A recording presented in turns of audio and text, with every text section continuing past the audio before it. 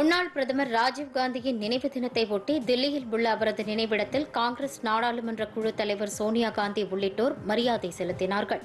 பிரதமராக இருந்த ராஜீவ்காந்தி கடந்த ஆயிரத்தி தொள்ளாயிரத்தி தொன்னூற்றி ஓராம் ஆண்டில் குண்டுவெடிப்பில் உயிரிழந்தார். அதன் முப்பத்தி இரண்டாவது நினைவு தினத்தை ஒட்டி தலைநகர் தில்லியில் உள்ள நினைவிடத்தில் அவரது மனைவியும் காங்கிரஸ் நாடாளுமன்ற குழு தலைவருமான சோனியா காந்தி மலர் தூவி மரியாதை செலுத்தினார். காங்கிரஸ் தலைவர் மல்லிகார்ஜுன கார்கே காங்கிரஸ் முன்னாள் தலைவர் ராகுல் காந்தி பொதுச் செயலாளர் பிரியங்கா காந்தி ஆகியோரும் மரியாதை செலுத்தினார்கள். முன்னாள் பிரதமர் ராஜீவ்காந்தியின் நினைவு தினத்தையொட்டி காஞ்சிபுரம் மாவட்டம் ஸ்ரீபெரும்புதூரில் உள்ள அவரது நினைவிடத்தில் தமிழ்நாடு காங்கிரஸ் கமிட்டி சார்பில் தமிழக காங்கிரஸ் கட்சி தலைவர் கே எஸ் அழகிரி அக்கட்சியின் சட்டப்பேரவை தலைவர் செல்வ பெருந்தகை உள்ளிட்டோர் மலர் தூவி மரியாதை செலுத்தினர். இந்நிகழ்ச்சியில் காங்கிரஸ் கட்சி மூத்த தலைவர் கே வி தங்கபாலு நாடாளுமன்ற உறுப்பினர்கள் எஸ். திருநாவுக்கரசர் விஜய் வசந்த் மற்றும் கட்சி நிர்வாகிகள் கலந்து கொண்டனர். தமிழகத்தில் உபரியாக இருக்கக்கூடிய மின்சாரத்தை வேறு மாநிலத்திற்கு வழங்கக்கூடிய அளவில் தமிழ்நாடு மின்சார வாரியம் வளர்ந்துள்ளதாக அமைச்சர் செந்தில் பாலாஜி தெரிவித்துள்ளார்.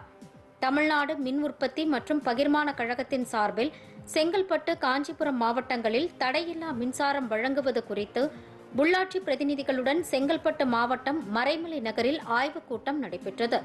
சிறு குறு மற்றும் நடுத்தர தொழில் நிறுவனங்கள் துறை அமைச்சர் தாமு அன்பரசன் தலைமையில் நடைபெற்ற இந்த நிகழ்வில் மின்சாரம் மற்றும் மதுவிலக்கு ஆயத்தீர்வைத்துறை அமைச்சர் செந்தில் பாலாஜி கலந்து கொண்டார். இதனைத் தொடர்ந்து செய்தியாளர்களை சந்தித்த செந்தில் பாலாஜி ஏற்கனவே பழுதடைந்த மின்கம்பங்கள் மாற்றி அமைக்கப்பட்டுள்ளதாகவும் புதிய மின்மாற்றி அமைக்கப்பட்டுள்ளதாகவும் தெரிவித்தார். நேற்று ஒரே நாளில் மட்டும் தமிழகத்தில் இருபத்தி ஆறு லட்சம் யூனிட்டுகள் உபரி மின்சாரம் வெளிமாநிலத்திற்கு விற்கப்பட்டுள்ளதாக அமைச்சர் கூறினார். தேனி மாவட்டம் உத்தமபாளையம் அருகே அனுமந்தன்பட்டியில் இரட்டை மாட்டுவண்டி பந்தயம் நடைபெற்றது. மந்தை அம்மன் கோவில் திருவிழாவை முன்னிட்டு நடைபெற்ற இந்த போட்டியில் மதுரை சிவகங்கை திருச்சி உள்ளிட்ட பல்வேறு மாவட்டங்களிலிருந்து இருநூறுக்கும் மேற்பட்ட ஜோடி மாடுகள் பங்கேற்றன. அனுமந்தன்பட்டியிலிருந்து உத்தமபாளையம் வரை புறவழிச்சாலையில் இந்த போட்டி நடத்தப்பட்டது. இதில் வெற்றி பெற்ற மாடுகளுக்கும் உரிமையாளர்களுக்கும் ரொக்க பரிசு மற்றும் கேடயங்கள் வழங்கப்பட்டன. இந்த போட்டியை சாலையின் இருபுறமும் நின்று ஏராளமான மக்கள் கண்டு களித்தனர்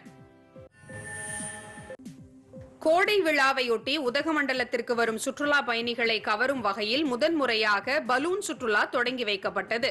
மாவட்ட சுற்றுலாத்துறை மற்றும் தனியார் ஒத்துழைப்புடன் நடத்தப்படும் இந்த சிறப்பு பலூன் சுற்றுலா திட்டத்தை பர்ன்ஹில் பகுதியில் மாநில சுற்றுலாத்துறை அமைச்சர் ராமச்சந்திரன் தொடங்கி வைத்தார். இம்மாதம் முழுவதும் நடைபெறவுள்ள இந்த பலூன் சுற்றுலா பயணம் ஐம்பது மீட்டர் உயரத்தில் ஐந்து முதல் பத்து நிமிடம் வரை பறந்தபடி சுற்றுலா பயணிகள் இயற்கை அழகை கண்டு ரசிக்க முடியும். இதற்கு பயண கட்டணமாக ஆயிரத்து ஐநூறு ரூபாய் நிர்ணயிக்கப்பட்டுள்ளது. எல்லை தாண்டி ஊடுருவிய பாகிஸ்தானின் மேலும் ஒரு ஆளில்லா விமானத்தை பஞ்சாபில் எல்லை பாதுகாப்பு படை வீரர்கள் சுட்டு வீழ்த்தினர்.